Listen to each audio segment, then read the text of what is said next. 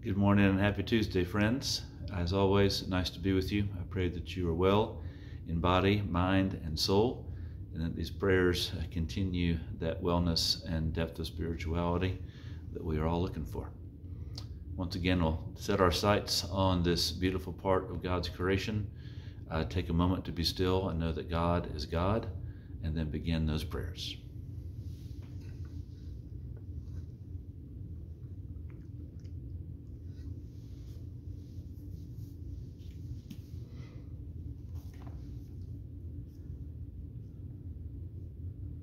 O Lord, open our lips, and our mouths shall proclaim your praise.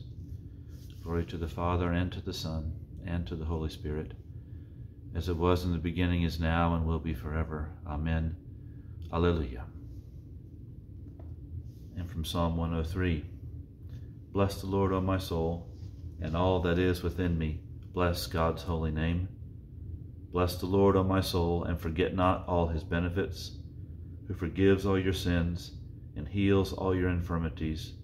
He redeems your life from the pit and crowns you with faithful love and compassion, who satisfies you with good things so that your youth is renewed like an eagle's. The Lord executes righteousness and judgment for all who are oppressed. He made his ways known to Moses and his works to the children of Israel. The Lord has established his throne in heaven, and his kingdom has dominion over all. Bless the Lord, you angels of his, you mighty ones who do his bidding, and hearken to the voice of his word. Bless the Lord, all you his hosts, you his ministers that do his will. Bless the Lord, all you works of his, in all places of his dominion. Bless the Lord, O my soul. The Lord be with you. Let us pray. God be in our heads and in our understanding. God be in our eyes and in our looking. God be in our mouths and in our speaking. God be in our hearts and in our thinking. God be in our hands and in our embracing. God be in our prayers and in our listening. Amen.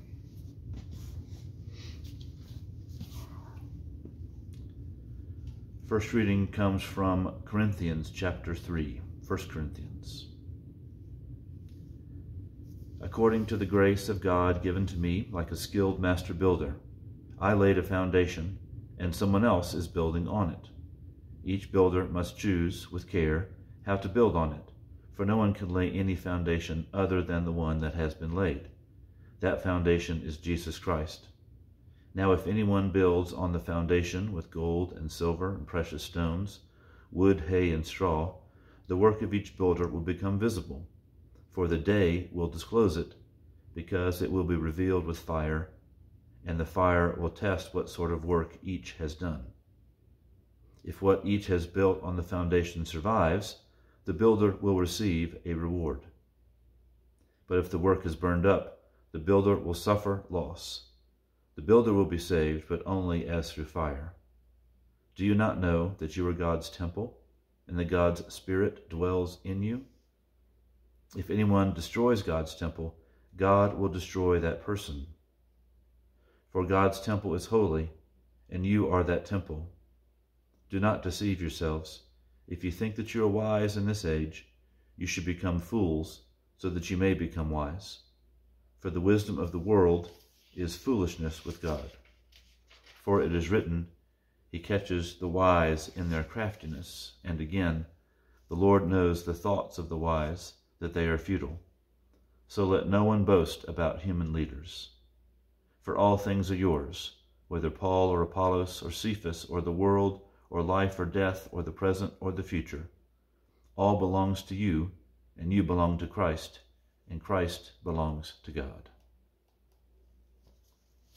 The word of the Lord. Thanks be to God.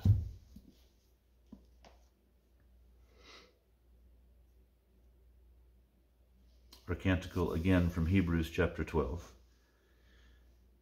We have come before the throne of God to share in the inheritance of the saints in light.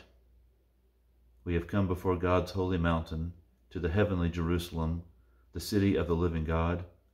We have come before countless angels making festival, before the assembly of the firstborn citizens of heaven.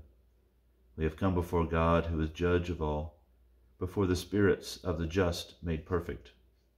We have come before Jesus, the mediator of the new covenant. We are receiving a kingdom that cannot be shaken.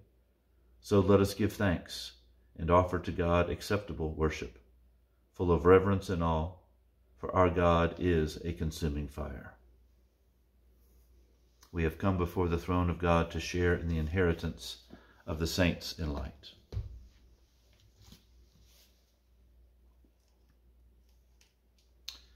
Our second reading is from Luke chapter 18. Jesus took the twelve aside and said to them, See, we are going up to Jerusalem, and everything that is written about the Son of Man by the prophets will be accomplished. For he will be handed over to the Gentiles and he will be mocked and insulted and spat upon. After they have flogged him, they will kill him, and on the third day he will rise again. But they understood nothing about all these things. In fact, what he said was hidden from them, and they did not grasp what was said. As he approached Jericho, a blind man was sitting by the roadside begging. When he heard the crowd going by, he asked what was happening, and they told him, Jesus of Nazareth is passing by. Then he shouted, Jesus, son of David, have mercy on me.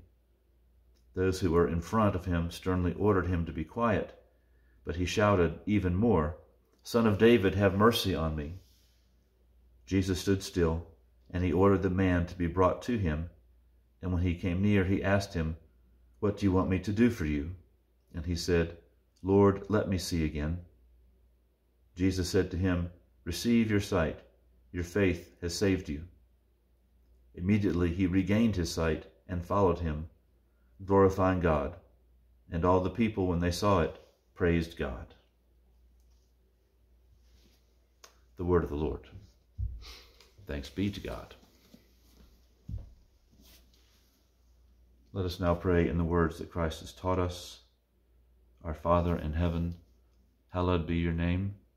Your kingdom come, your will be done on earth as in heaven. Give us today our daily bread. Forgive us our sins as we forgive those who sin against us. Save us from the time of trial and deliver us from evil. For the kingdom and the power and the glory are yours, now and forever.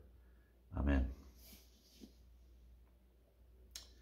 Again, some prayers of thanksgiving.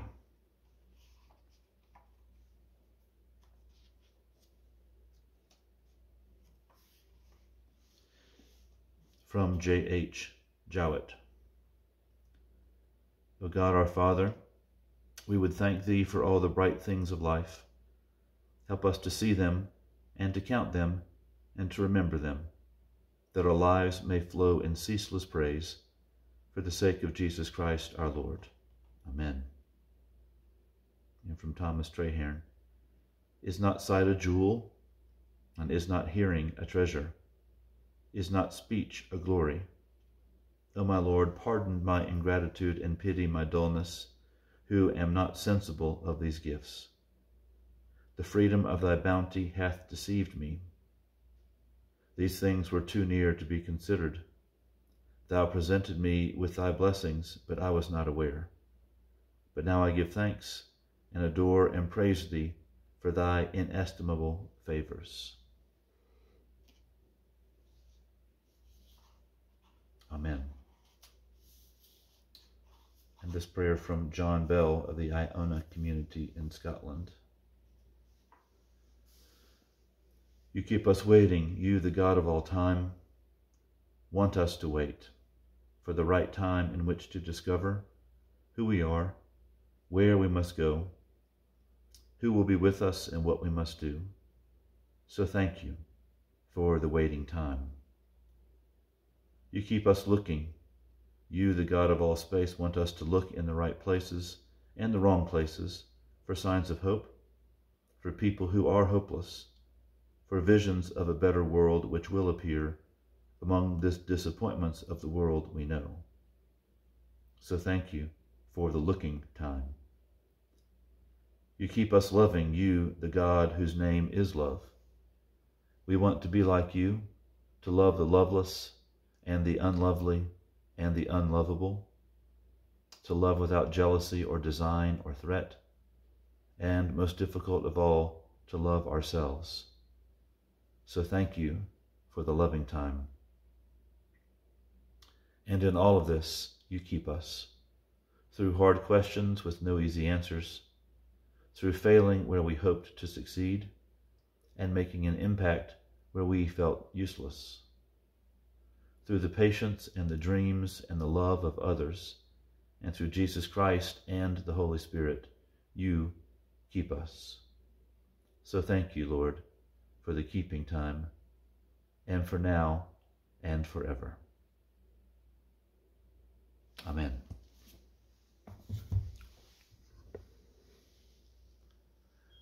Let us bless the Lord. Thanks be to God. The grace of our Lord Jesus Christ and the love of God and the fellowship of the Holy Spirit be with you all forevermore. Amen, amen, alleluia.